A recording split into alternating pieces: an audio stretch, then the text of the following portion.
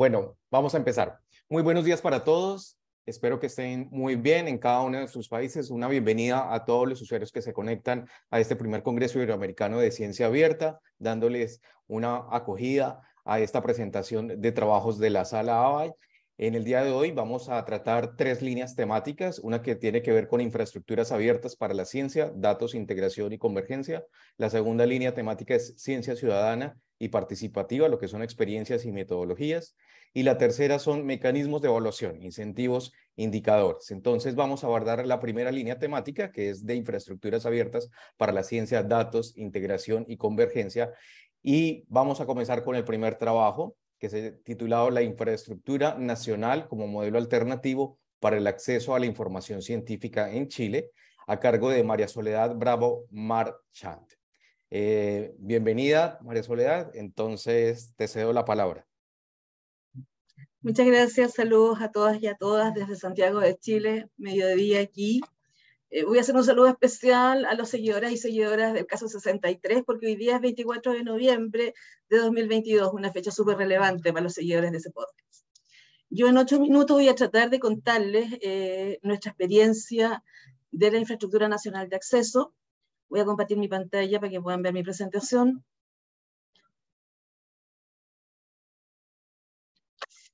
L me dijeron. Y voy a ver. La, vemos. ¿La ven bien? Sí, de acuerdo. Perfecto. Ok. Déjame ver si yo puedo avanzar con esto. Dame un segundo. Control L. Ya. Bueno, ¿Qué es lo que es para nosotros esta infraestructura nacional de acceso? Es hoy día, es un proyecto que finalmente surge de la, eh, de la puesta en marcha de nuestra política eh, de, eh, de, acceso abierto en Chile. Déjenme tratar de hacerlo en ahí, para que la puedan ver completa.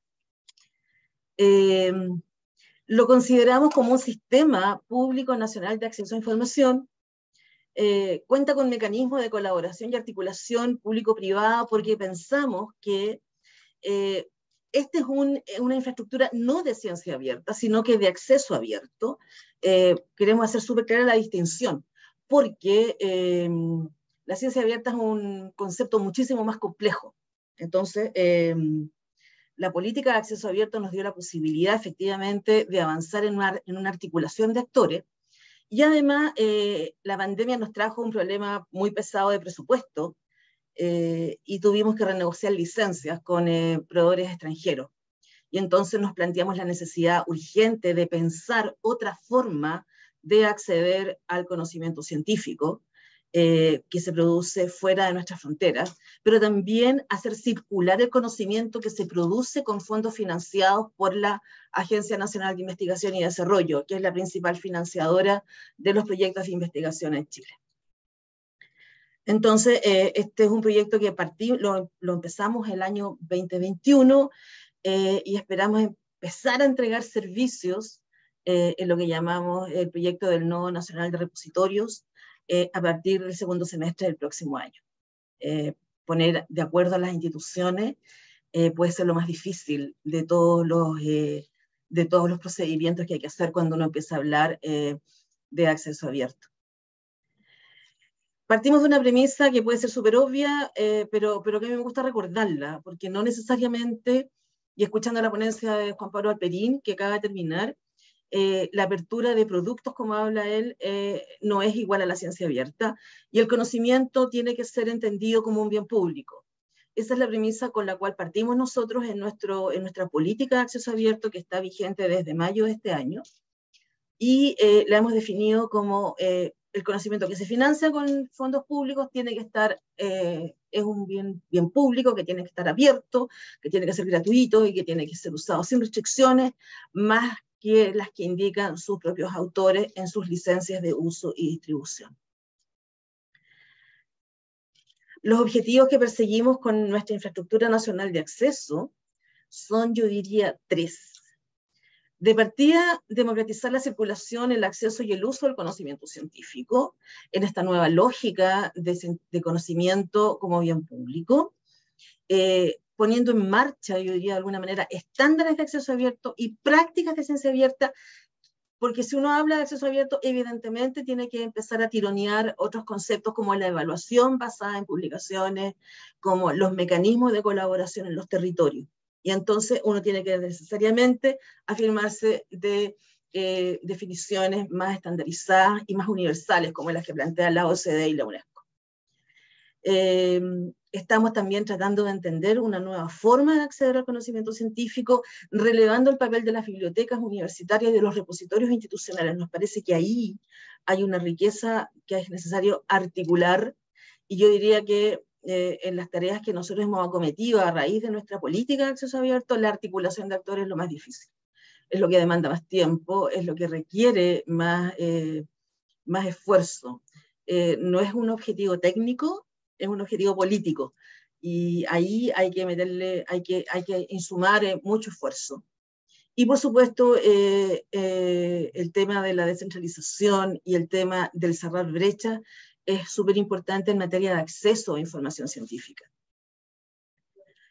Este es un esquema súper obvio, así, de cómo funciona esta, esta infraestructura nacional de acceso.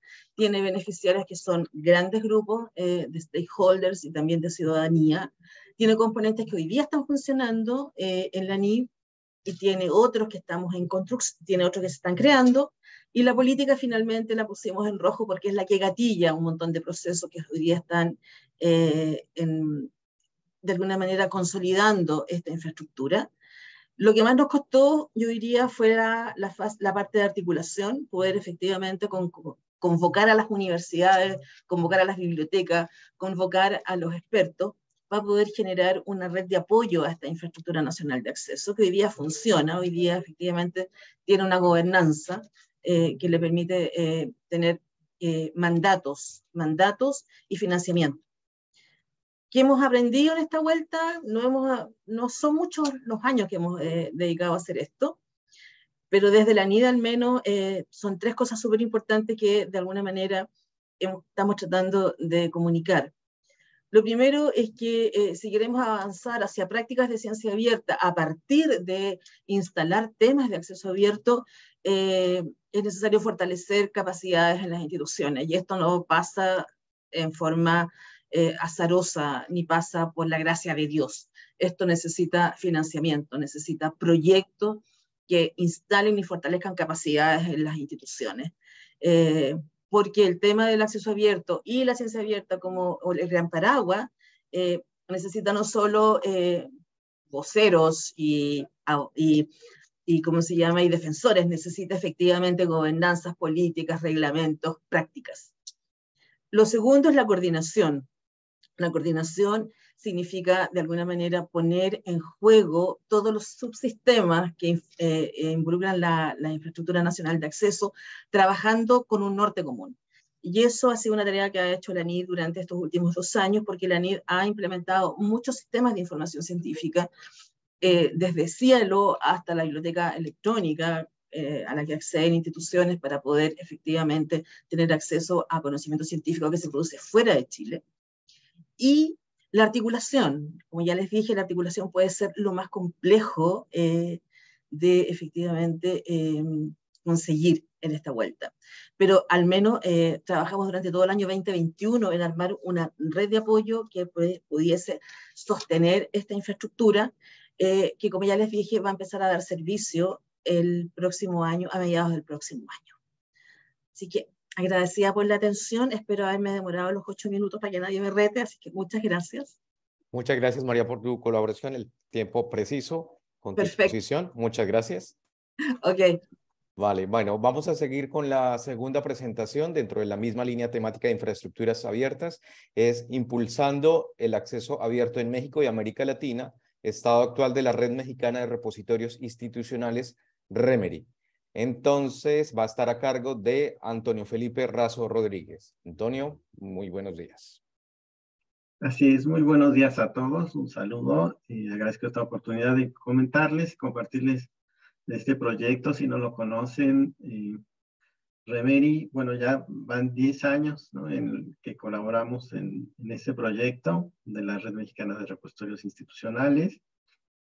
Ya deben de estar viendo la presentación bueno, a nombre de la maestra Alina Vázquez, coordinadora de la red. Yo voy a estar explicándoles lo que hemos hecho desde el 2012, eh, una iniciativa inicialmente financiada por CONACYT. Eh, actualmente integramos eh, repositorios institucionales de instituciones educativas, asociaciones civiles, centros públicos de investigación y organismos interesados en promover el acceso abierto. En México tenemos servicios de integración, indexación, normalización de metadatos, búsqueda en repositorios digitales conforme a las directrices internacionales de OpenAIRE y de la referencia, y implementamos recién la normalización de vocabularios de acuerdo a COAR. Mm, actualmente, bueno, estamos integrados a la Corporación Universitaria para el Desarrollo de Internet, UDI. Somos una comunidad, parte de la comunidad de aplicaciones y tenemos un equipo de varios colaboradores que también voy a presentar en este año. Estamos integrando varios grupos de trabajo y actualmente es nodo mexicano, bueno, el nodo que representa a México en la referencia y bueno, tratamos de colaborar en, con varias organizaciones, tanto nacionales como internacionales, para promover el desarrollo de, del acceso abierto. Los principales resultados en este año, bueno, ya tenemos más de 135 repositorios institucionales, tanto temáticos como de datos. Les comentaba yo que tenemos normalizados los documentos a tipos de datos COAR, los vocabularios de datos de, de tipo de documentos, es la versión 3. Seríamos, este, bueno, este trabajo lo hacemos para normalizar la información para integrarse a OpenAIRE y a la referencia, que son iniciativas latinoamericanas y europeas que nos permiten compartir toda la información. Tenemos además, estamos ya incorporando desde este año un catálogo de revistas universitarias este, que nos permita promover la producción también desde el punto de vista de las revistas de acceso abierto. Y eh, bueno, hemos colaborado y asesorado algunos proyectos este año, ahorita les voy a platicar de ellos. Y esta participación forma parte de, este, de nuestra iniciativa ¿no? de compartir tanto con la comunidad en México como en Latinoamérica de esta, este proyecto.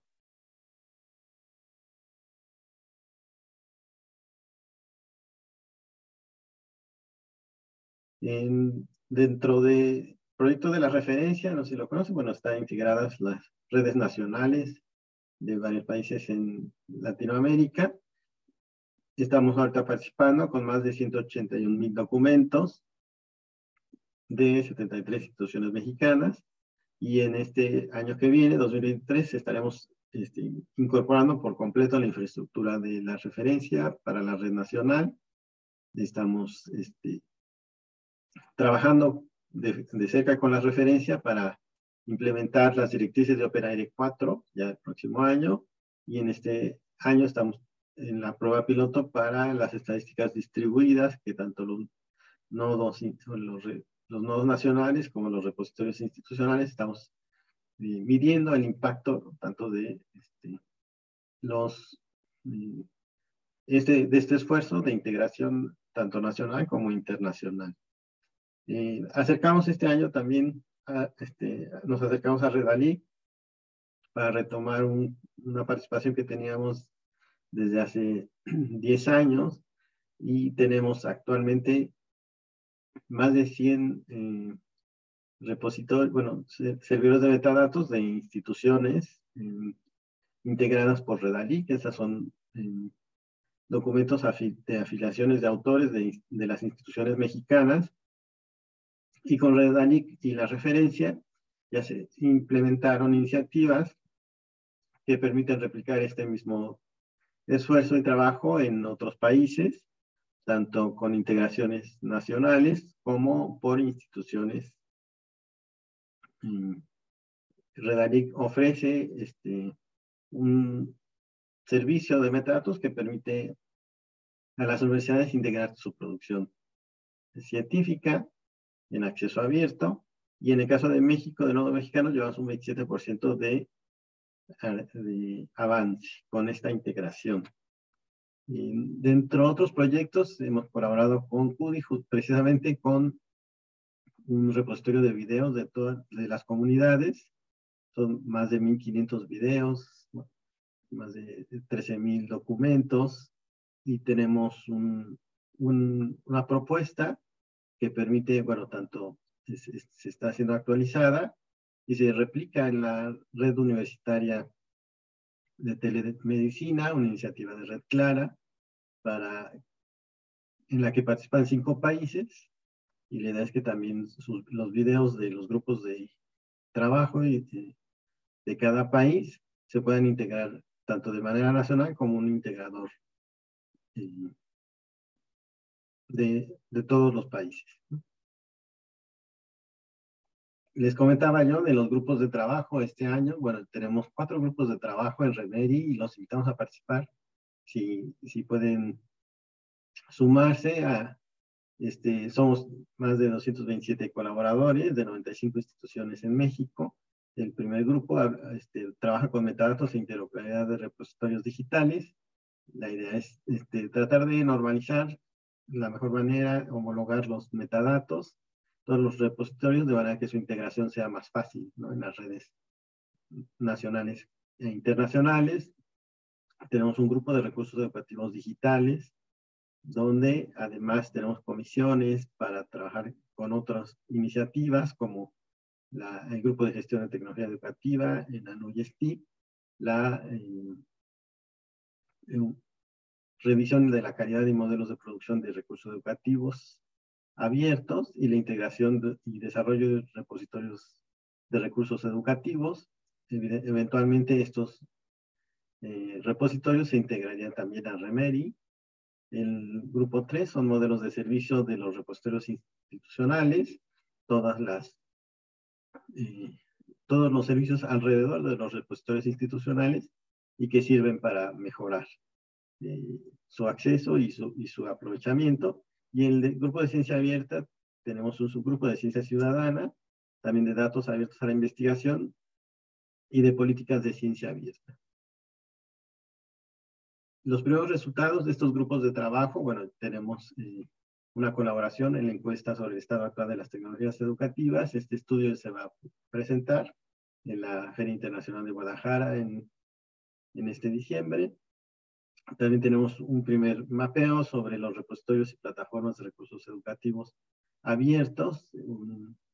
en base a esta, una encuesta que se realizó, tenemos ya identificadas estas plataformas y justamente se van a compartir, se van a integrar. Eh, y recién lanzamos una encuesta en línea sobre políticas institucionales de ciencia abierta que está todavía disponible para su participación.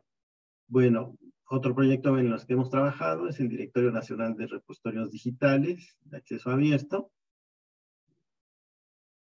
Esta es una iniciativa que buscamos también replicar a otros este, países porque justamente hace falta un directorio con toda la información que permita conocer los repositorios y, sus, y el estado y sus estadísticas.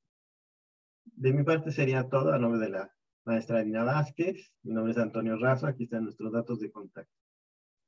Muchas gracias, Antonio, por tu presentación. Muy interesante el trabajo que vienen desarrollando en, en México.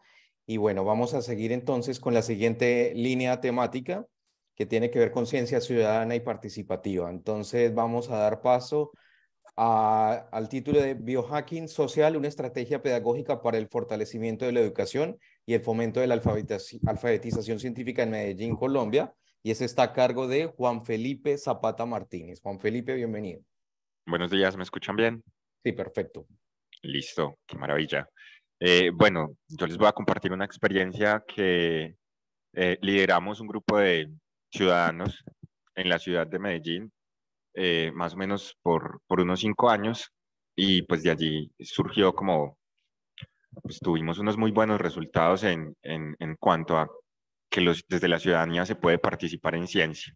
Eh, entonces, bueno, eh, nuestra estrategia se llamó biohacking, fue un nombre muy azaroso, surge en una de las universidades de Medellín que se llama, se llama Instituto Tecnológico Metropolitano, pero luego nos desligamos de la institucionalidad. No sé si puedes eh, pasar em, la diapositiva, por favor. Entonces, ¿de dónde viene como esta, esta problemática? Los estudiantes de algunos programas de ingeniería lograron identificar pues, que el país en general tiene un panorama difícil en cuanto a su crecimiento científico además de la fuga de cerebros, ¿cierto? Em, las personas casi no estudian carreras y profesiones STEM. Eh, tenemos muy pocas personas interesadas por la ingeniería, por las matemáticas, por la física, por la biología, por la química. Entonces, el, panorama, por lo menos en el desarrollo científico en ciencias exactas, es un poquito oscuro, como lo planteaban pues los jóvenes que participaron en el proyecto. Em, y es por ello entonces que empezaron como a indagar por qué por qué somos tan pocos los interesados por estas áreas y empezaron a darse cuenta eh, a través de, una mini investigación que realizaron, em, pues que realmente desde la educación básica, primaria y secundaria, pues no había mucha aproximación a la ciencia. Incluso, eh, si puedes pasar la diapositiva, por, em, ellos identificaron que, que no había ni siquiera asistencia eh, a los laboratorios. Eh, se hizo una encuesta y en esa encuesta identificaron en estudiantes de secundaria que en un año más o menos entre el 30 y el 50% de los chicos que fueron encuestados, que superaron los 400 estudiantes, pues visitaban el laboratorio o tenían acercamientos a la ciencia eh, de manera práctica em, dos o tres veces en todo el año. Entonces, claro, desde allí ellos empezaron a plantear que había una necesidad y en la misma universidad empezaron a darse cuenta que ni siquiera tenían acceso a equipos. Eh, entonces, desde ese escenario se plantearon empezar a construir, cambia la diapositiva, eh, equipos de laboratorio a muy bajo costo que permitieran que los profesores eh, de los colegios, pues básicamente pudieran replicar, construir con material reciclable Em, los, los, los, equipos de laboratorio. Entonces esa fue pues como esa iniciativa. Esa iniciativa se basó en una estrategia de hazlo tú mismo, en metodologías de hazlo tú mismo y en metodologías de software libre. Y desde allí entonces, durante esos cinco años, eh, surgió una metodología, ¿cierto? Eh, cambia la diapositiva, por favor. En esa, en esa metodología, entonces, se planteó una estrategia de, de cómo eh, hacer funcionar esto y que se convirtiera en una red en la ciudad de Medellín. Entonces hubo un componente formativo, ese componente eh, formativo luego se, se, tenía que extender em, a un componente de, de, replicar, ¿cierto? Y para ello entonces se hizo una propuesta que fue biohacking en, en una metodología de Spatial Learning, ¿cierto? En la cual eh, lo que se propuso fue pues identificar una necesidad, la primera necesidad, pero no fue la única, fue la necesidad de por qué no tenemos equipos de laboratorio en los colegios y en muchas universidades y cómo vamos a poder entender los fenómenos, ¿cierto? Entonces hizo un análisis de necesidad, se hizo un modelo de intervención y después de eso se fijaron estrategias de divulgación, ¿cierto?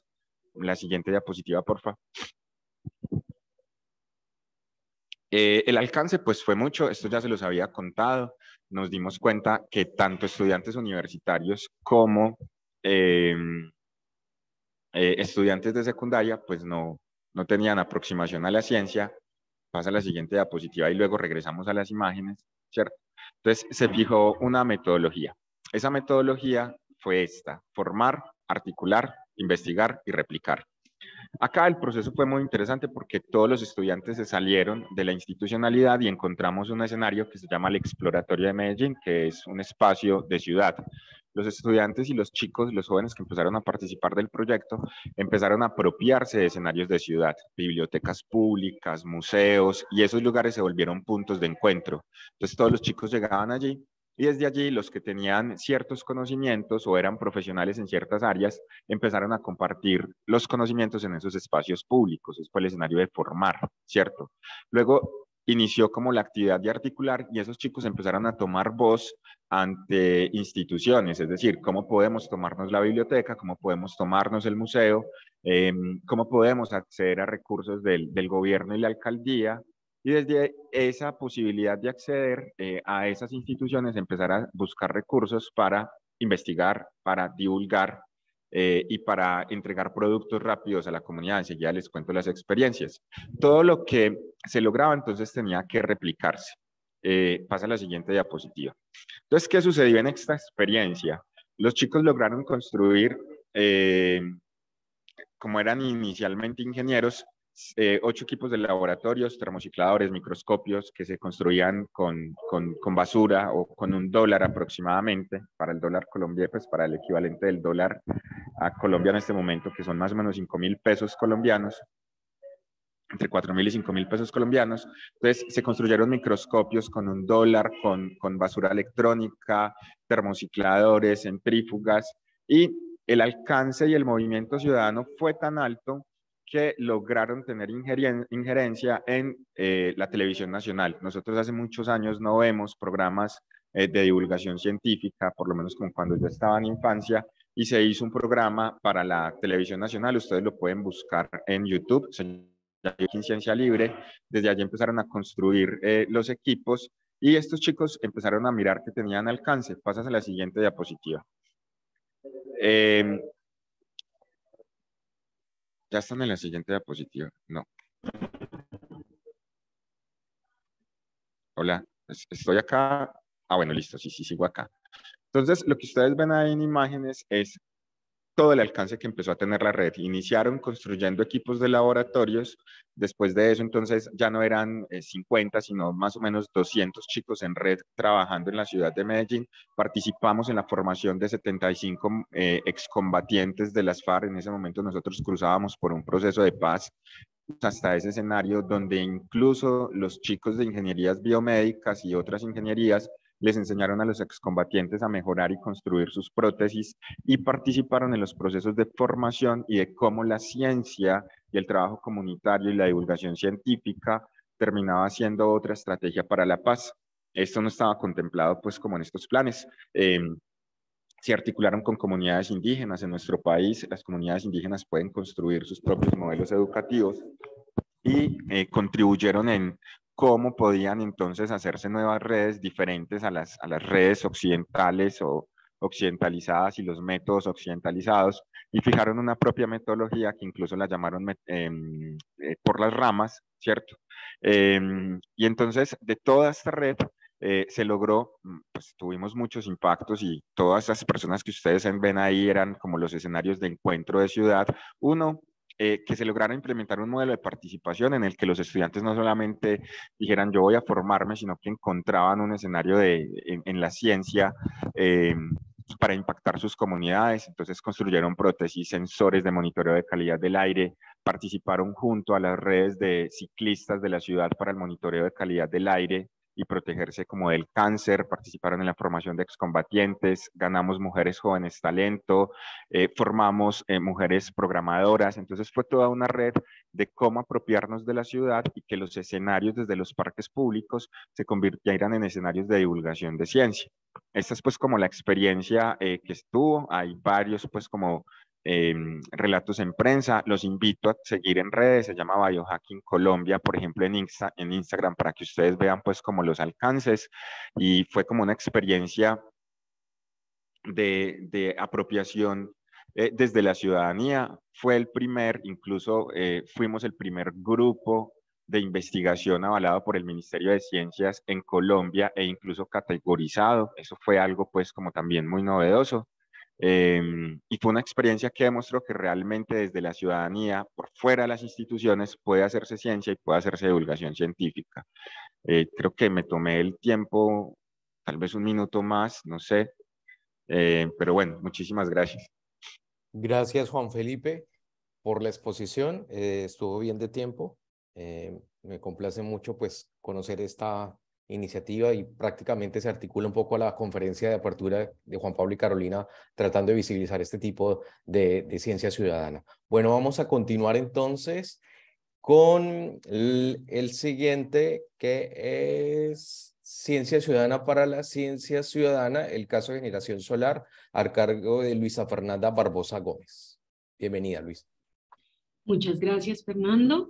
Eh, muchas gracias a todas las personas que están conectadas. Eh, les saludo eh, desde Bogotá.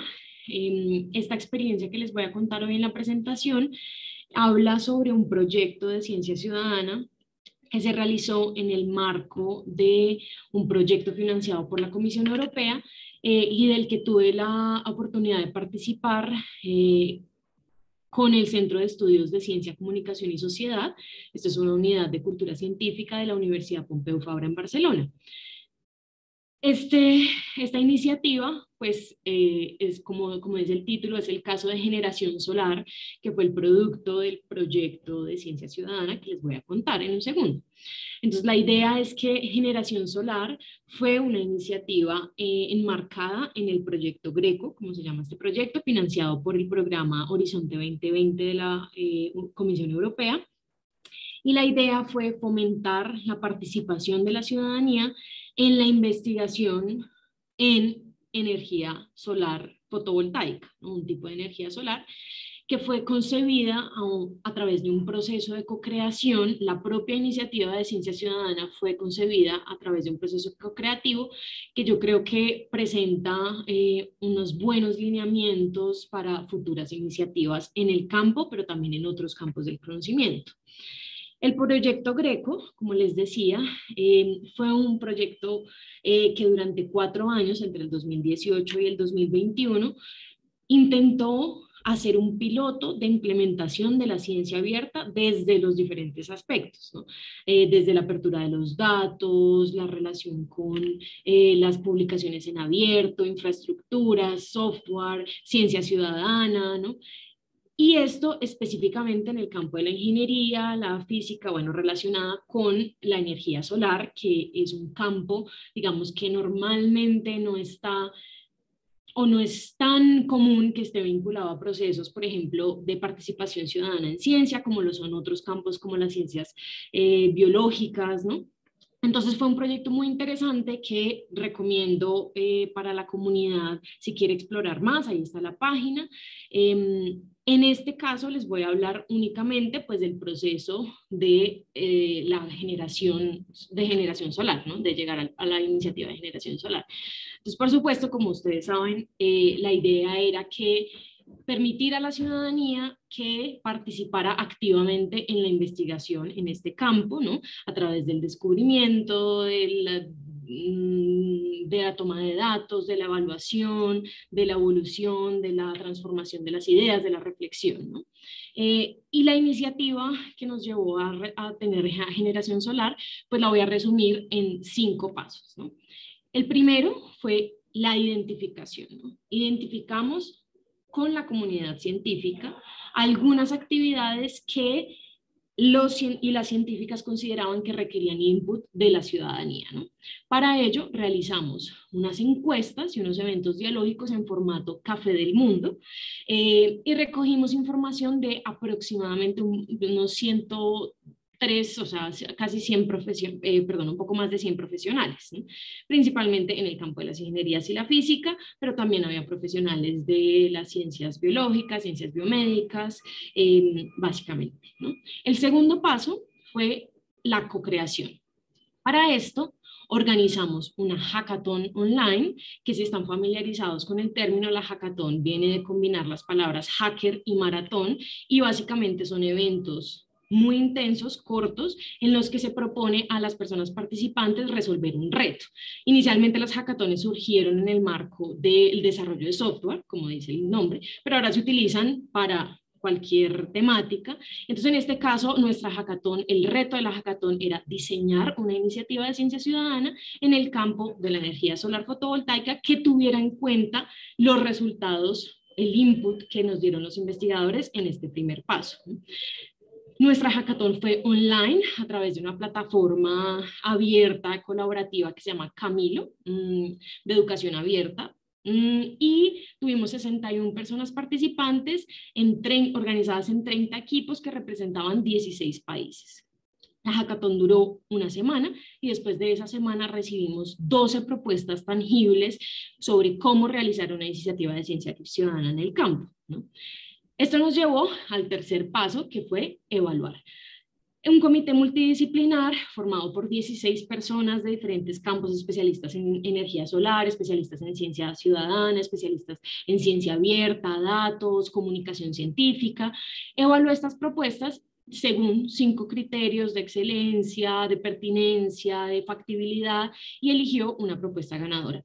La propuesta ganadora, en este caso, interesantemente o curiosamente, fue eh, otorgada a una profesora de la Universidad de Aarhus en Dinamarca que trabaja con eh, energía solar fotovoltaica y que tenía una necesidad concreta eh, pues en este campo. ¿no?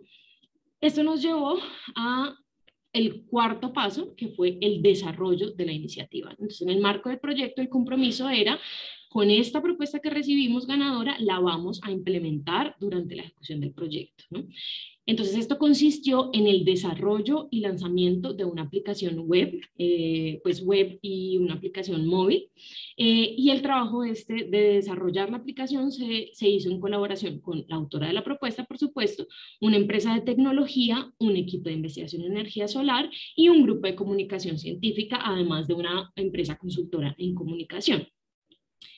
El desarrollo nos llevó pues a la generación de un producto que ya les voy a mostrar en un segundo y el quinto paso por supuesto fue la difusión de de este producto. Entonces, para eso diseñamos una campaña de comunicación para vincular a personas usuarias que ya estuvieran relacionadas con el proyecto, eh, personas que estuvieran vinculadas a las diferentes instituciones participantes.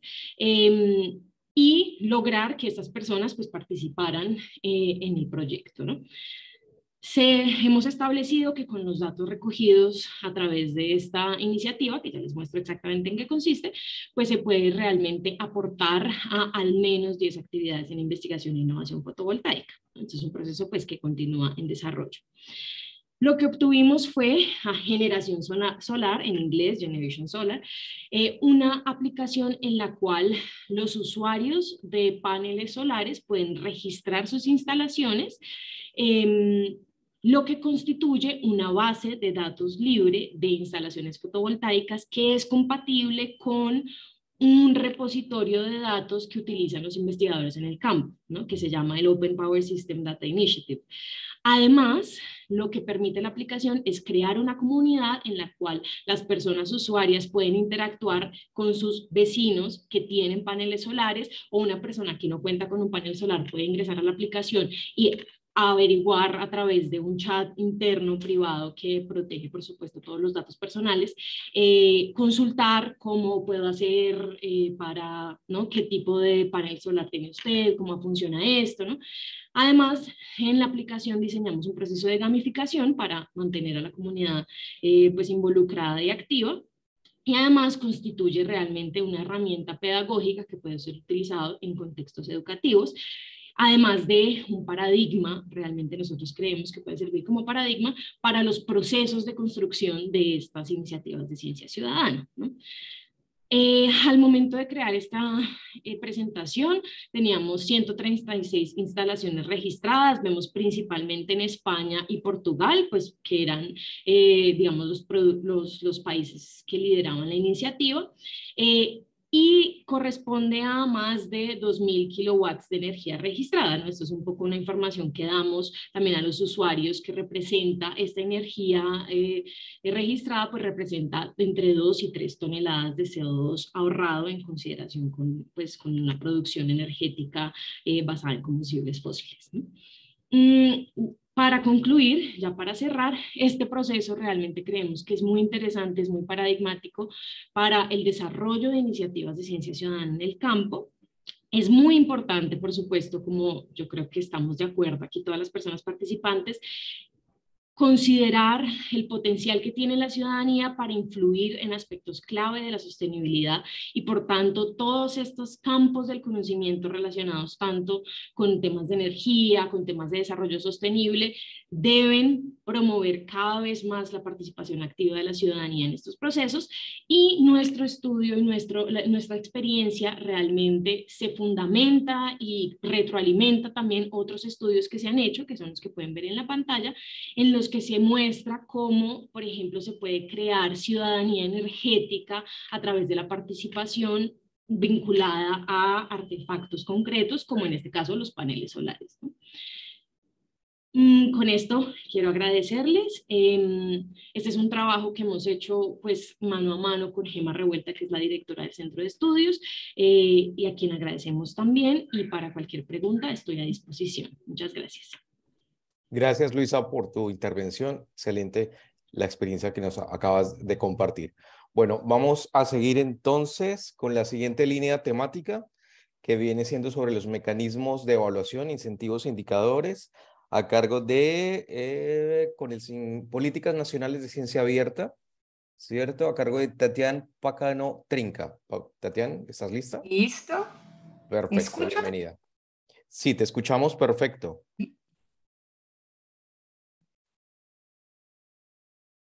Entonces, buenos días, buenas tardes a todos y a todas, né? Estou muito contenta de estar acá. Uh, muito gusto de participar do primeiro Congresso Ibero-Americano de Ciência Aberta, né?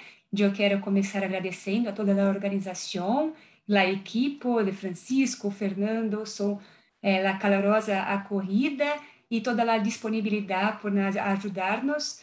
Eh, eu peço, eu pido desculpas porque eu não hablo espanhol, e se eu falar portunhol, eu vai cometer um crime contra o idioma, então eu vou, eu vou apresentar em português.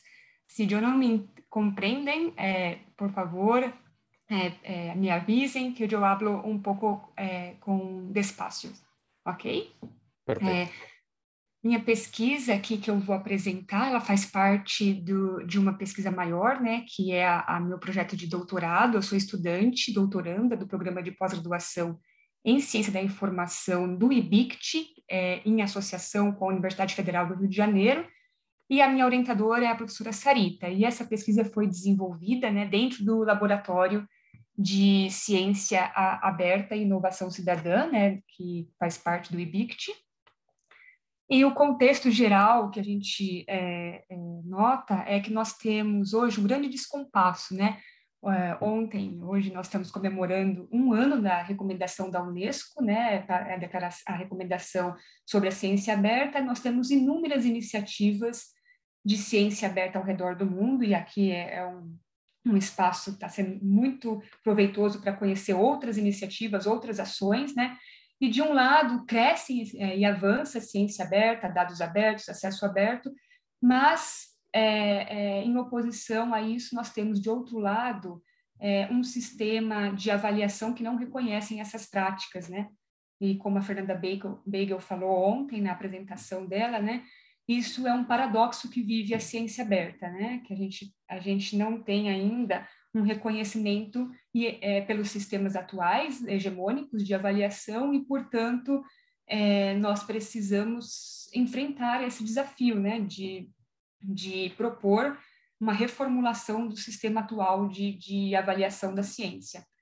Então, né, é, tendo em vista esse contexto, nós é, buscamos identificar e analisar como políticas governamentais de ciência aberta em nível estatal, federal, né, de diferentes países abordam a dimensão da avaliação.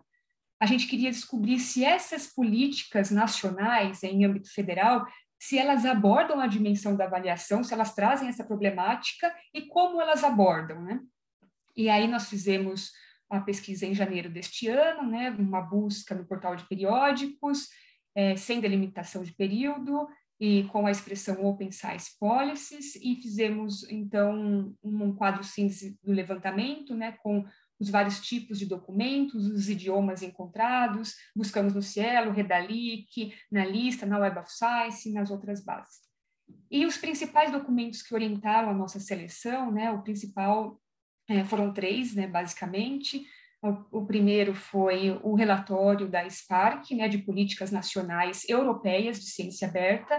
O segundo foi o relatório Tendências Recentes das Políticas Científicas de Ciência Aberta e Acesso Aberto na Iberoamérica, que foi elaborado pela Dominique Babini e pela Laura Rovelli. E o terceiro foi um estudo desenvolvido pelo professor Anglada e pelo professor Abadal, que está dentro do, do livro Sob a Lente da Ciência Aberta. Eles fazem também um, uma síntese das, das principais políticas europeias. É, então, o primeiro estudo analisou é, políticas nacionais de 12 países europeus e também analisou marcos regulatórios de outros 14 países. E eles, esse está na versão 7, eles sempre atualizam anualmente o, o que tem é, saído, as novas publicações de, e implementações de políticas. Né?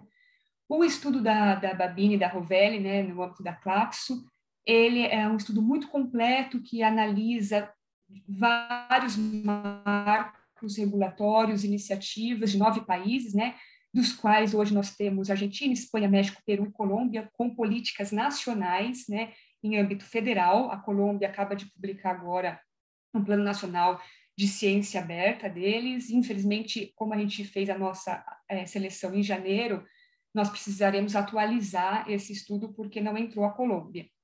Então, tem é, nesse, nesse relatório da Claxo, da Babini da Rovelli, elas mencionam né, 104 políticas institucionais de acesso aberto, 686 repositórios, e também é, colocam esse descompasso que a gente tem entre as inúmeras iniciativas, inclusive a nossa região é pioneira, né, Cielo, Redalic, La Referência, Latindex, e as nossas iniciativas e ações e toda a parte de cocriação é, e colaboração conjunta dos pesquisadores, eles não, não são reconhecidos e não são incentivados nos âmbitos é, do sistema de avaliação regional, né? em grande parte. E o outro estudo foi o, o, do Anglada e do Abadal, né, que analisou essas quatro políticas, e a gente partiu também dessas quatro políticas desses quatro países por considerar elas são políticas muito abrangentes, que envolvem dados abertos, acesso aberto, códigos abertos, dentro de uma grande política, tem, tem um escopo é, muito, muito maior do que uma regulação para, por exemplo, depósito de publicações científicas em determinado repositório. Então, nós partimos desse corpus, né, e fizemos uma análise onde é, verificamos que a França, agora, a partir do, da, da iniciativa Parceria para o Governo Aberto, ela elaborou o primeiro plano nacional de ciência aberta e agora se encontra no seu segundo plano nacional de ciência aberta. E a França é o dentro desse documento nos pareceu o país que mais tem é, delineamentos mais concretos para apontar para uma reformulação dos sistemas de avaliação, né? Eles colocam nitidamente né, a, a necessidade de considerar a, cita, a citação em da, é, citações abertas, né, dando continuidade aos esforços da iniciativa para citações abertas e também é, colocam a criação de prêmios para práticas que promovam a reutilização dos dados de pesquisa, também a premiação para equipes que desenvolvam software livres, é, apontam a necessidade de reduzir a dimensão quantitativa em favor de uma abordagem mais qualitativa da ciência, levando em conta, além das publicações, a pluralidade dos resultados de pesquisa, né? E mencionam, é, de fato, coisas concretas, por exemplo, reduzir a influência do fator de impacto começando com a exclusão de todas as referências a este indicador e ao índice H nos textos das chamadas para os projetos e formulários de candidatura. Então, a gente, dos, dos quatro países analisados da, da, documentação, a França nos pareceu a que está mais é, envolvida num processo de, de mudança e de problematização do atual sistema de avaliação, né? A Holanda tem um histórico é, de engajamento, né, criadora do Golfer, é, mas é, quando a gente analisa a política dela, eles, eles exigem o depósito né, das publicações dos dados de pesquisa para as pesquisas financiadas com o fundo público, mas, ao mesmo tempo, o plano menciona que há uma ausência de recompensas explícitas pelos esforços e práticas dos cientistas. Então, eles colocam a necessidade de examinar, né, reexaminar o instrumento deles de avaliação para facilitar a transição para a ciência aberta, né? E a Eslovênia também tem um histórico longo. É, desde 2015, eles têm a estratégia nacional de acesso aberto a publicações e aos dados de pesquisa. Eles é, contemplam a questão dos dados como é, dos dados de pesquisa, né, como uma publicação científica. E mas também a gente vê que tem uma dificuldade de sair né, de, dessa dessa parte mais do discurso para estratégias mais concretas de mudança no sistema. E, por fim, a Finlândia, que está agora com uma política nacional de ciência aberta, que se divide em quatro políticas, eles estão ainda em fase de planejamento em, em, algumas dessas políticas, mas tratam de acesso aberto, de dados abertos, de acesso aberto aos métodos de pesquisa e também de REA, que são os recursos educacionais abertos. Né? A Finlândia coloca que a avaliação considerará os novos e mutáveis formatos de publicação, que ela fará revisões regulares sobre as novas formas de publicação e que as agências e financiadores de pesquisas devem se comprometer a considerar o acesso aberto em suas avaliações. E também coloca que a produção de recursos educacionais abertos será avaliado como trabalho, né, dentro do, dos méritos né, é, e da, do incentivo das práticas né, dos cientistas. E o que a gente vê para finalizar, é que é, a ciência aberta avança, né? Só que a avaliação tem sido um grande obstáculo, né? E ela constitui um elemento chave para a consolidação da ciência aberta como prática comum, né? E embora é, se tenha a compreensão de que é preciso reconfigurar os atuais sistemas, isso é um consenso entre os pesquisadores, entre as pesquisas que a gente é, levantou, que a, a, a, avaliação é o grande obstáculo, né? As propostas iniciais das políticas nacionais não problematizam ainda os aspectos que envolvem a governança privada das infraestruturas que fornecem as métricas, indicadores e outros serviços. Por exemplo, elas não, elas não distinguem a questão do uso das bases é, multidisciplinares é, privadas. Então, é, tem um descompasso também entre os pilares e os valores da ciência aberta e o uso dessas grandes bases, né, por essas próprias políticas de ciência aberta. Então, por fim, há um avanço no número de políticas mandatórias de acesso aberto né, e dados, mas quando se olha para a dimensão específica da avaliação, observa-se uma limitação em passar de uma política discursiva de apoio à ciência aberta para uma política que implique em incentivar e recompensar a diversidade de práticas de abertura, como a gente já viu nos trabalhos até aqui, né? Uma diversidade de cocriação, de colaboração, de ciência cidadã, e esse é o grande desafio agora, né? Como contemplar essas práticas no, nos atuais sistemas de avaliação. Bom, agradeço, espero que tenham conseguido me entender. Perfecto, te hemos comprendido. Muchísimas gracias por tu exposición. Vamos entonces a darle paso a uno de los ponentes que ahorita tenía dificultades de, de acceder. Eh, va a compartir una, una, experiencia de ciencia ciudadana, su ciencia ciudadana que se llama la no ecología hacia la sustentabilidad de las Terecaray. Nelson Valois Castillo, ¿estás? Eh, Nelson está, eh, sin embargo veo su micrófono que no se activa. Tiene algún problema con, no, con el micrófono. Entonces, Entonces vamos con la siguiente. Listo, perfecto. Entonces vámonos con la 55, que se llama dentro de la temática de mecanismos de evaluación, incentivos e indicadores, evaluación del rastro social de las investigaciones de las universidades latinoamericanas, relación academia políticas públicas en el área de economía, a cargo de Carlos Vilches Román. Carlos, bienvenido. Sí, muchas gracias. Permíteme compartir la pantalla. Ya estoy con ustedes. Bien, creo que, que se aprecia la pantalla, ¿cierto? Primero agradecer a todos los organizadores y a ustedes por estar compartiendo estos minutos aquí con nosotros. La idea de esta presentación es ofrecerles una, una perspectiva, un enfoque eh, rápido, barato, de fácil implementación para empezar a ver lo que se conoce como el impacto social de la investigación. Pero como ese impacto es un concepto muy difuso, muy, muy grande, muy difícil de medir, nosotros preferimos hablar de el rastro social y para ello nos apalancamos, nos este, apoyamos en un enfoque de medición de este rastro social llamado conectividad basada en el área es una propuesta que viene del CBTC de Leiden, que ya seguramente algunos lo han conocido, lo han visto, que tiene mucho tiempo haciendo investigación bibliométrica. Entonces, en este CBTC de Leiden hablan de esa conectividad basada en el área como una forma de hacer seguimiento a la repercusión que tiene la actividad investigadora a partir de ciertos dispositivos de rastreo. Y esos dispositivos de rastreo nos dan cuenta de cómo se manifiesta esta relevancia o rastro en diferentes dimensiones. Por ejemplo, en la dimensión desarrollo tecnológico, en la dimensión colaboración de empresa-industria, en la dimensión medios informativos, redes sociales y ciertamente políticas públicas. Y nosotros nos hemos enfocado en este punto, en la relevancia o repercusión para políticas públicas, porque en términos de patentes, sabemos que en nuestros países, por lo menos en el sur global, la producción de patentes no va a la par de lo que se observa en el norte global. En cuanto a redes sociales, está siempre el ataque de los bots y que son datos que podrían ser inflados artificialmente, ¿cierto? Pero en cambio, la repercusión en documentos de política pública sí nos permite rastrear cosas como cuál fue la fuente de origen, dónde se difundió, dónde se publicó y ciertamente qué institución es la que hace uso de ese tipo de resultados.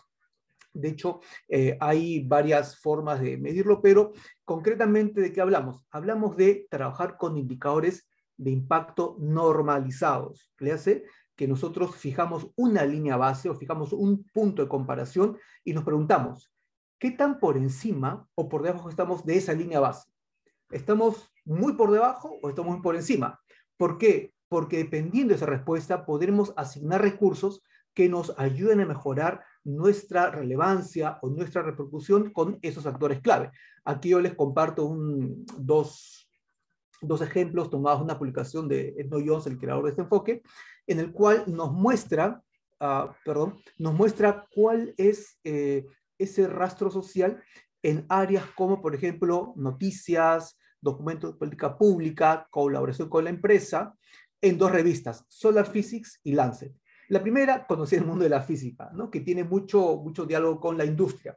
Pero en el caso de Lancet, ¿se acuerdan? En las primeras semanas de la pandemia, cuando quería saber qué pasaba, eh, qué pasaba con el recuento de muertos, con la vacuna y todo, las referencias clásicas eran de revistas como Vaccine, el British Medical y por supuesto Lancet. Por eso que Lancet, en cuanto a políticas públicas, según este ejemplo, tiene un impacto normalizado que es cuatro veces por encima del promedio de otras publicaciones. Entonces, de esta manera podemos ver si lo que hacemos como investigadores, ya sea que lo difundimos por revista, que lo analicemos como institución, como universidad, realmente llega a la sociedad, o sea, realmente cumple esa función social de mejorar la calidad de vida de las personas. Y entonces nosotros nos enfocamos, yo y mi colega, en la, em, en la información disponible en la plataforma conocida como OpenAlex. OpenAlex entendemos que es una de las bases de datos multiplataforma, estos métodos de poder acopiar información que tiene lo mejor de ambos mundos. O sea, tiene un gran número, un número grande de datos a nivel de trabajos de investigación, citas, hablamos de un billón y pico de citas, autores, instituciones, canales de comunicación, y que además cuenta con una forma de organizar los datos que se puede replicar o se puede utilizar. Ahí a la derecha ustedes ven cuáles son esas tablas de datos que maneja OpenAlex y que lo valioso que tiene OpenAlex es que nos enlaza a un esquema de datos conectados, de link data, link data, ¿no? Entonces, OpenAlex utiliza los 65 mil y tantos conceptos de Wikidata, ¿Y esto por qué es importante? Me dirán, pero ¿y para qué Wikidata? Porque Wikidata nos ofrece una manera de organizar el conocimiento, organizar el contenido que no responde a la agenda del norte global. Que vamos, la clasificación que nos da Scopus, Web de la Ciencia, está muy bien, si nosotros estamos en Pfizer, Biotech y demás, pero en el sur global tenemos otras agendas, tenemos otros temas, y ahí la mirada de Wikidata, con sus 65.000 conceptos agrupados en seis niveles, nos da una mirada mucho más realista. Y lo que hicimos fue utilizar las herramientas que se ofrecen, APIs, o sea, conectores de base de datos, y también montamos las tablas en un servidor Postgres, un servidor SQL, donde eh, logramos armar una, una base de datos que tenía casi 2 terabytes de, de información, para que se hagan una idea de cuánto estamos hablando.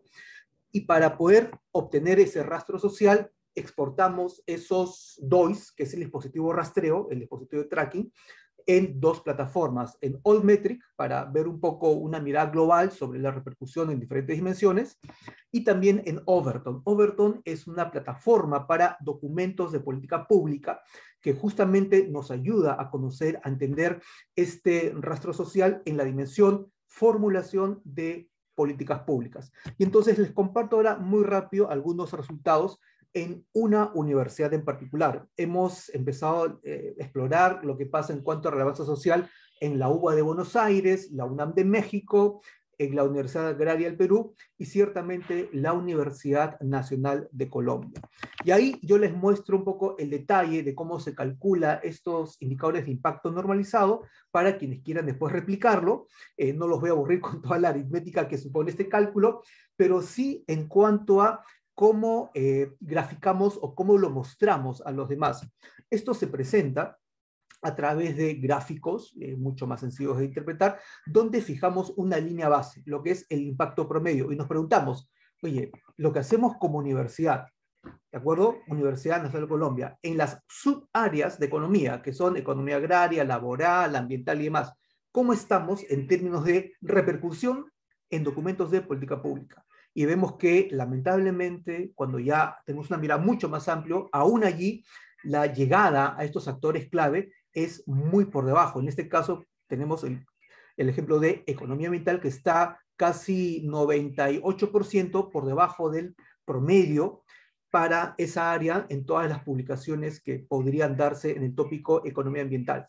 Y entonces podríamos seguir haciendo lo mismo, pero si vamos al detalle, encontramos que es posible ver dónde es mencionada, cuál es el uso, la apropiación de las investigaciones de nuestras universidades, de nuestros países, a nivel de documentos de política pública. Entonces ahí ustedes ven, arriba aparece la publicación de la ONC y debajo las menciones que se dan en documentos de la Unión Europea.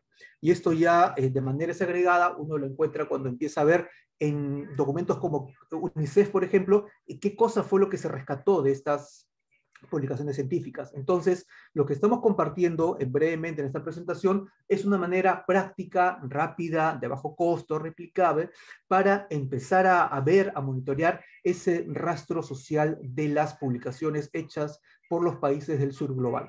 Eh, muchas gracias por su tiempo y este, nuevamente deseo la posta al coordinador. Muchas gracias. Gracias, Carlos, por la exposición. Eh, muy clara. Es interesante también. Bueno, vamos a continuar entonces con la siguiente exposición que se llama Ciencia Abierta en la Alianza para el Gobierno Abierto en Brasil, a cargo de Priscila Sena. Priscila, bienvenida. Gracias. Voy a poner mi presentación un momentito.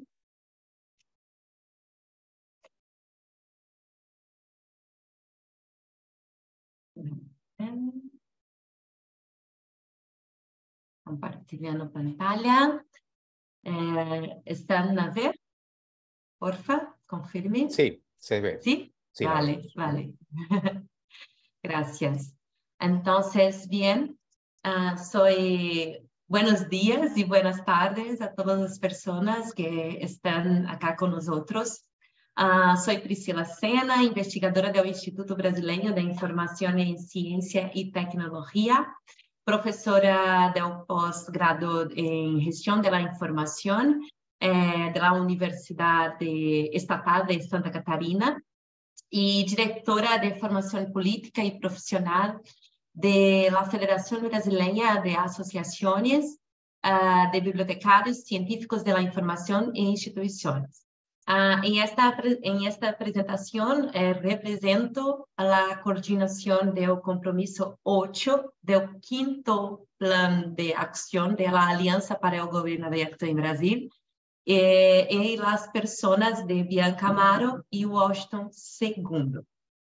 Eh, de antemano, eh, muchas gracias a todo comité organizador de este congreso que está increíble y con muchísimo conocimiento compartido. Las ponencias de, de esta sesión están muy buenas y seguro que voy a mirar otra vez para aprender más. pues bien. Uh, lo que presento a vosotros es eh, sobre la Alianza para el Gobierno Abierto, que ha sido lanzada en 20 de septiembre de 2011 con ocho países y actualmente está con 75 países componiendo. Entonces, esos países hacen que la alianza eh, sea concluida o desarrollada a partir de planes de acción. Entonces, en Brasil, uh, estamos en quinto, quinto plan de acción y en este plan de acción fue definido, fueron, fueron definidos uh, 12 temas. Entonces, estos temas fueron trabajados por intermedio de talleres de co-creación. Entonces, co-creación es la palabra de, de, esta sala, porque muchísima gente está hablando sobre esto y está muy bien, porque la ciencia abierta eh, busca estos mecanismos para realmente co-crear.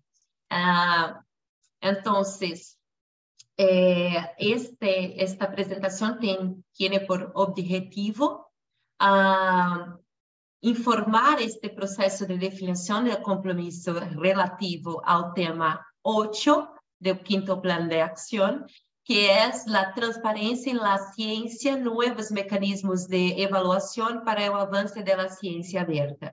Lo que eh, se añade a, a, ao trabalho da colega uh, Tatiane quando, quando habla sobre a questão da dificuldade de se evaluar en la ciencia abierta, los productos de la ciencia abierta. Entonces, este compromiso está sobre la coordinación del Instituto Brasileño de Información en Ciencia y Tecnología y tiene la participación de instituciones que representan el gobierno y la sociedad civil. Um, entonces, para, para nos eh, guiar eh, direccionar en, en, el compromiso, tenemos la cuestión cómo superar los obstáculos para a implementação de diretrizes e métricas de avaliação que impulsem as práticas de ciência aberta em Brasil. Uh, por de, delante dessa questão, tendremos o entendimento da ciência aberta como uma ciência em constante desenvolvimento, uh, um ecossistema que involucra, uh, involucra diferentes perspectivas interdependentes, eh, independentes, com suas particularidades, pero interrelacionadas. Então, em este sentido, se tem a importância que adquirem as novas formas de avaliação.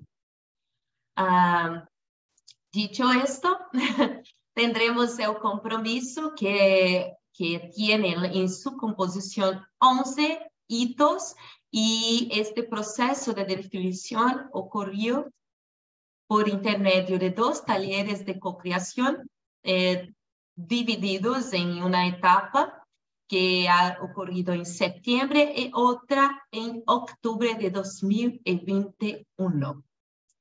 Uh, entonces, como hito uno, tendremos eh, el envolvimiento de estas está sobre la coordinación de IBICT, que es los estudios de los criterios nacionales e internacionales de evaluación de los investigadores y las instituciones de investigación con especial atención, atención a las prácticas de ciencia abierta.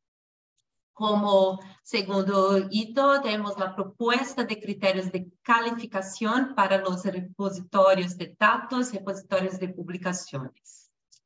Como três, tendremos a proposta de diretrizes para a financiação e desenvolvimento de projetos de investigação. Quarto, proposta de indicadores métricos alternativos altimétricas para medir o impacto da investigação científica. Cinco, propuesta de indicadores de la ciencia ciudadana. Pues eh, ahora les digo que eh, destes, destes hitos algunos ya están concluidos, terminados, y otros están por, por se concluir eh, en el próximo mes, que es diciembre. ¿sí?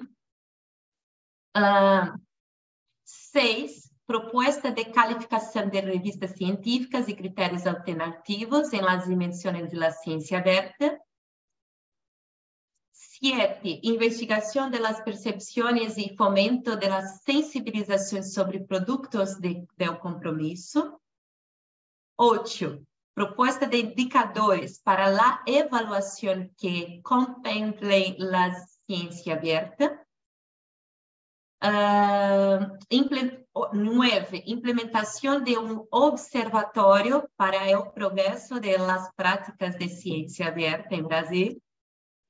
10. Investigación comparativa del impacto esperado frente ao observado en la producción de, de los programas de posgrado. Y 11. Trabajamos la propuesta de criterios de calificación de productos tecno, técnicos, tecnológicos y artísticos que favorezcan la ciencia verde. Entonces, bien, delante de estos 11 eh, hitos, trabajamos todo este com, eh, compromiso, desarrollamos ele, él y, y hasta momento tendremos la presencia de seis instituciones que repre representan al gobierno y diez instituciones que representan la sociedad civil. Entonces, en todo este trabajo, que es muy grande, tendremos tres, 36 personas que participan, siendo que IDICTI está presente en los grupos de trabajo de 8 de los 11 hitos, siendo coordinador de dos. Uh, eh, es importante hablar sobre la relevancia y pertinencia del compromiso en relación con los pilares de la ciencia abierta en Brasil y también que este compromiso fomenta eh, el proceso de transparencia en la ciencia. Uh, además, tiene una relación muy cercana con los objetivos de desarrollo sostenible uh, pertenece a la Agenda 2030 y en el sentido de, de, que esta agenda viene para promocionar el equilibrio entre el desarrollo sostenible económico, social, medioambiental y directamente trabajamos uh, objetivo 4 de la Agenda 2030, el 9 y también 17. Pues entonces, si fuera, a hablar sobre cada uno de estos hitos en este momento, no sería posible. Entonces, para que ustedes puedan eh, monitorear eh, nuestro proceso y también los resultados de este compromiso, les dejo este QR code que es posible accesar una, una wiki donde se encontram todas la, toda a informação e se pode também entrar em contato com as pessoas e instituições que participam do desenvolvimento do compromisso. Uh, además, les dejo uh, nossos correios eletrônicos para seguirmos em diálogo e, e também, mais uma vez, muitíssimas graças a toda a atenção e por este evento incrível que nos promove esta possibilidade de diálogo com as pessoas que creem e querem muito que a ciência aberta cresça e seja forte na América Latina. Muchísimas gracias. Gracias, Priscila, por tu intervención. Muy interesante ese trabajo colaborativo que han logrado en, este tiempo. Vamos a ver si Nelson Castillo nos escucha. ¿Fue posible solucionar el inconveniente con el audio? ¿Nos escuchas?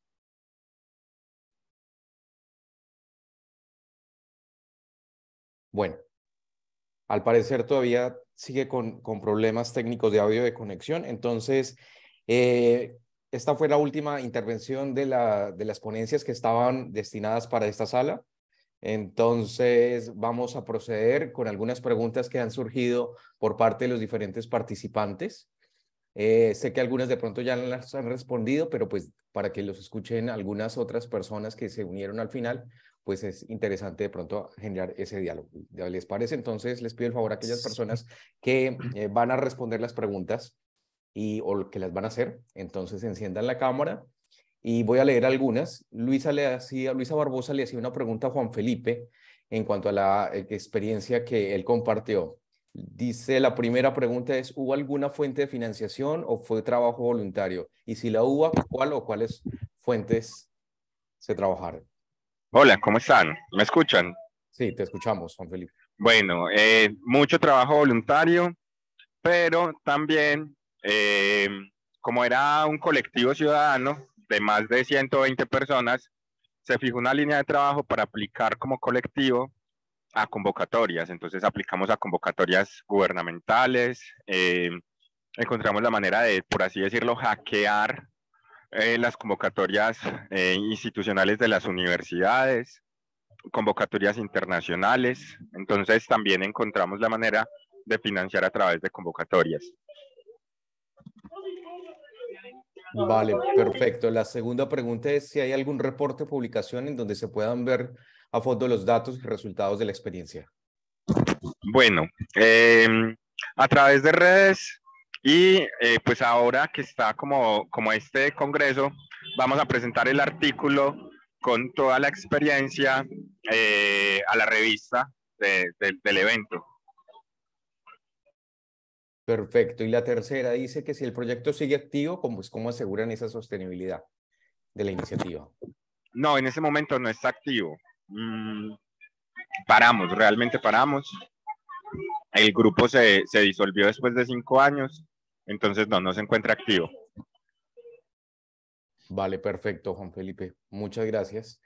Vamos a seguir con otras preguntas. También Luisa le hacía a Tatiana eh, sobre si estaba publicado el estudio para consultarlo. Eh, nosotros queremos publicar ahora como pré-print en el cielo do evento, né? Es nuestra intención.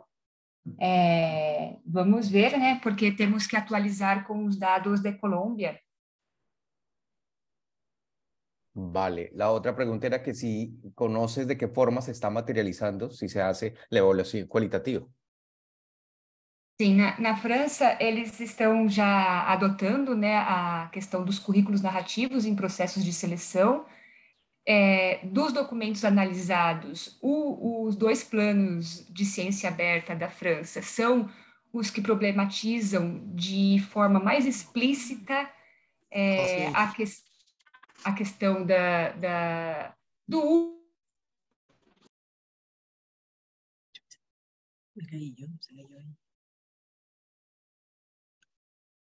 os outros analisados não colocam é, críticas a, a, esses indicadores, o francês coloca, só que as, as regulamentações e a, os procedimentos de avaliação, é, eles precisam ser é, olhados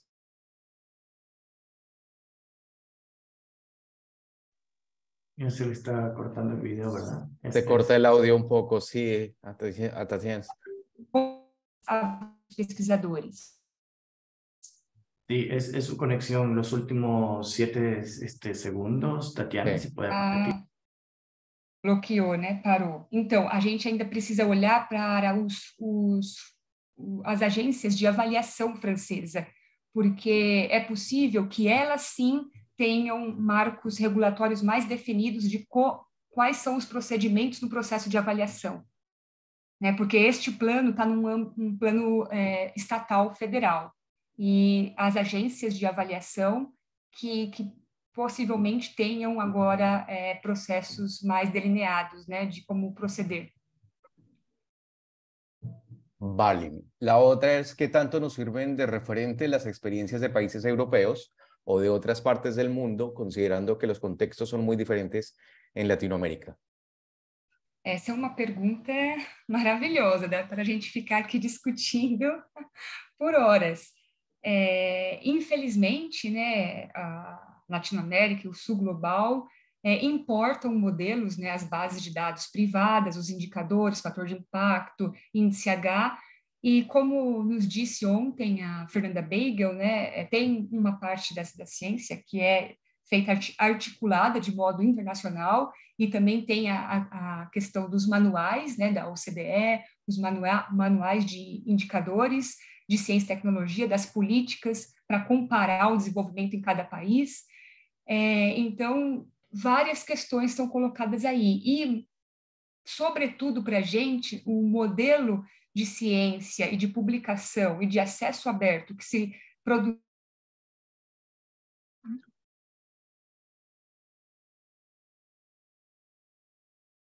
Volvió a irse el audio. Tatiane. Diamante. Oi? Tatiane. Corre. Oi? Apaga, apaga sua câmera, desliga sua câmera, porque eu acho que vai dar ah, menos ah, tá. influência. Isso. Tá cortando muito, né? Eu vejo vocês paralisados. Isso, agora pode falar, que eu acho Melhorou. que vai melhorar. Melhorou? Isso. Uhum. Então, nós temos que ter em mente né, o que, os, que o modelo de publicação e de acesso aberto que se faz na América Latina é totalmente diferente do modelo europeu e norte-americano, né? Nós somos um modelo baseado na, na, nas universidades públicas, né, do, do voluntariado dos professores, dos acadêmicos, e lá os modelos são empresariais. Então, isso a gente tem que considerar nos nossos processos de avaliação e a gente tem a iniciativa agora fenomenal, né, mobilizadora do FOLEC, da Claxo, que tem é, começado a, a, desestabilizar os modelos hegemônicos é, de avaliação e contribuído, inclusive, para levar esse debate para a Europa. É justamente o contrário. O FOLEC tem se articulado internacionalmente, né, na, com Fernanda Beigel, Babini, é, a Rovelli, e tem participado de várias iniciativas europeias para mostrar as nossas particularidades e como a gente pode construir bases é, bibliográficas regionais e nos valer delas para fazer os, é, os processos de avaliação aqui.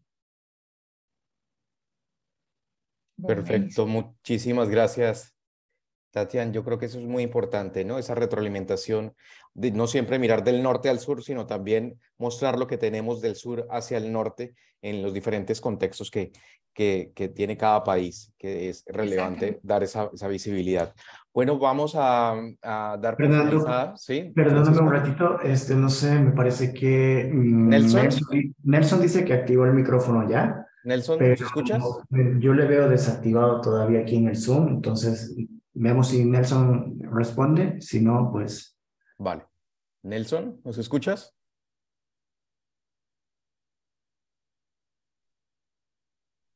No. No, es una pena. Bueno. Bueno, muchísimas gracias a cada uno de ustedes por la disposición, maravillosa la exposición y presentación de cada uno de los resultados de investigación pues, que están llevando a cabo de las iniciativas.